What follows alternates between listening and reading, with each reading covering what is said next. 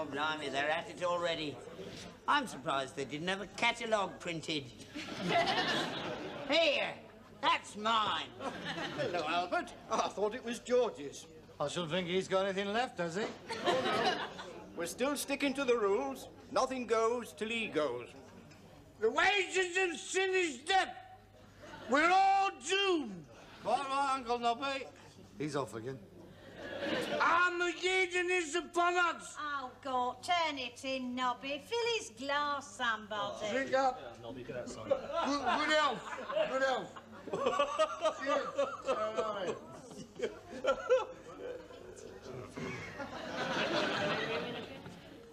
Hello, Albert. Hello, Arthur. That's a very sad occasion for us all. Yeah. Oh, I suppose we'll get over it. You know Harold? Yes, of course. Hello, Harold. Hello, Uncle Arthur. Yeah, the last time we met was uh, Frida's interment, or uh, was it Bob's? I can't remember. I lose track.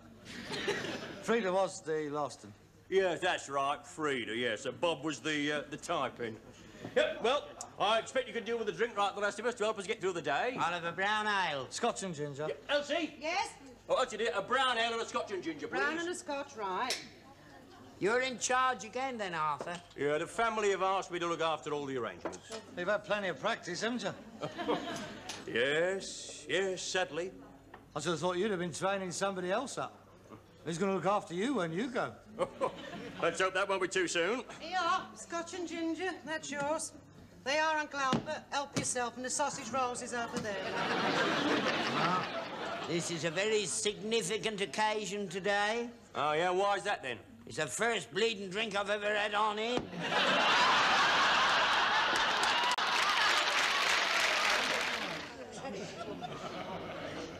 Had a look round. See anything you fancy? Me, for instance? Anything? Forget it, Dad. You don't stand a chance here. They're professional tomb robbers. What do you reckon to the two oil paintings? Flampens. The uh, Persian carpet? Belgian cotton. If you're really interested, the only worthwhile thing here is that porcelain figurine on the mantelpiece.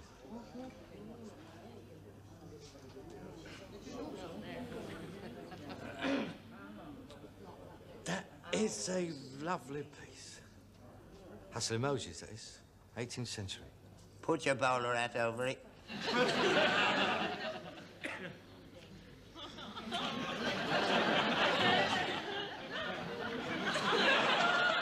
Opposition. Hello, uh, Harold, isn't it? Uh, yeah, yeah, that's right. Definitely Arthur's son. Oh, yeah, yeah, of course. Sad occasion, isn't it? Yeah. Heartbreaking. Hello, Uncle Albert. Oh, hello.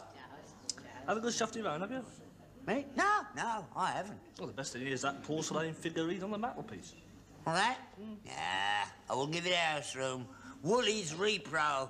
No, I wouldn't bother with that. That's 18th century. Look, mate, I know what I'm talking about. I'm in the business. So am I. I got a store on the Portobello Road. You were window cleaning last time I heard. Yeah. Well, there's no guilt in that, is there? The mosaic, that is. Second quarter. 18th century. See? I told you you should have put your hat over it. He'll have it away now. That's that Arthur Negus on his programme. the whole bleeding country's experts now. I'm going to get a drink. Hello, Albert. Oh, hello, Minnie. He didn't suffer, you know. Didn't he? No, went out like a light. Went the way he wanted to with his boots on. I don't expect he's got 'em now. Well, he was 93. You can't complain. I suppose you'll be the next to go, Albert. Now, that's not funny, Minnie. I've years to go yet. Got your eyes on anything? Mind your own business. Only thing worth having is that porcelain figurine on the mantelpiece.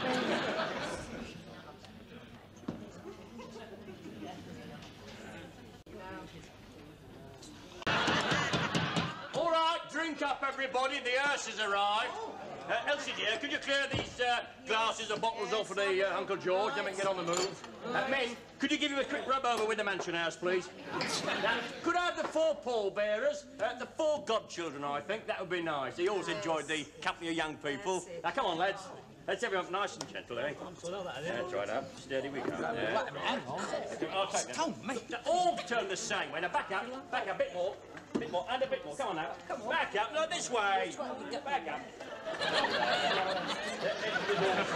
Nice and easy, and don't drop him. Oh, cold chap! You was bleeding well going off without me, wasn't you? No, I Ada dear, we were not going without you. Yes, you bleeding well was. No, we were not, Ada. And this is a funeral, and we don't want any swearing. Call that bleeding swearing?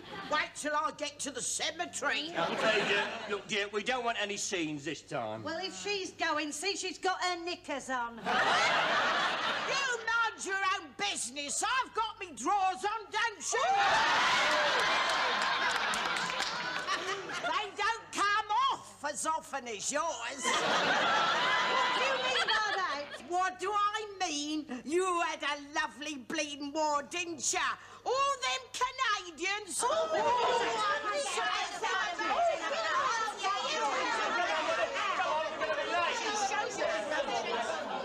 Get round the corner. Easy, Duffy. Easy. Down to your. I say, where's Uncle Nobby then? All right, I'll get him. All right. Since you have Here, for God's sake, don't let him get near the hole. Uh, well, so excuse the fella. Uh, see now. Genesis and all the Genesis and all the Genesis. And I can't tell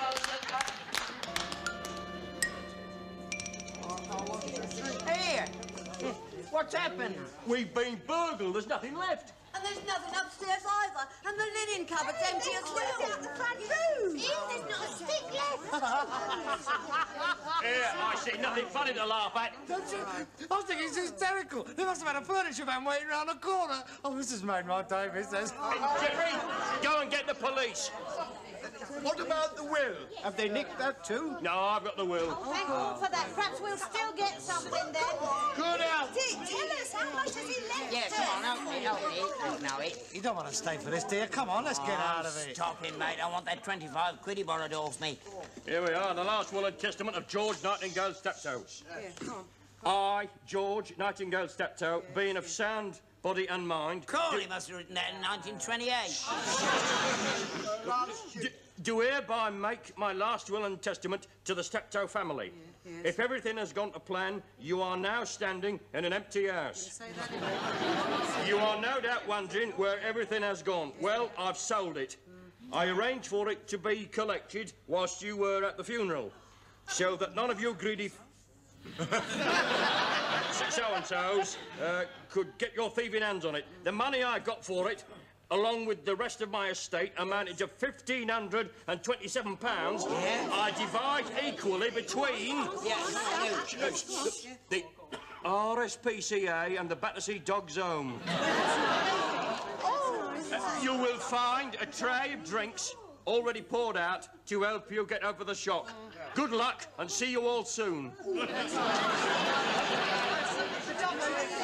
and gentlemen, ladies and gentlemen, please, please, on this very solemn occasion, I would like to propose a toast.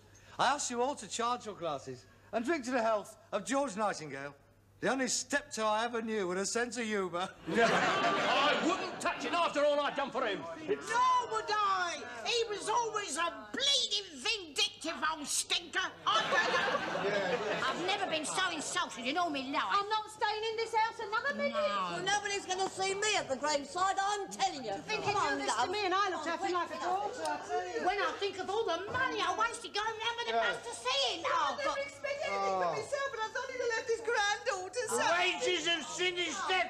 I will soon that have fallen on. Ooh, good health. I enjoyed that. That was worth coming for, that was. You're not upset, are you? No? I expected him to do something like that. Here, have a drink to him, Yeah. Why not? Pity to waste it. Uncle George. George. Oh, come on, show a bit of respect. Take your help.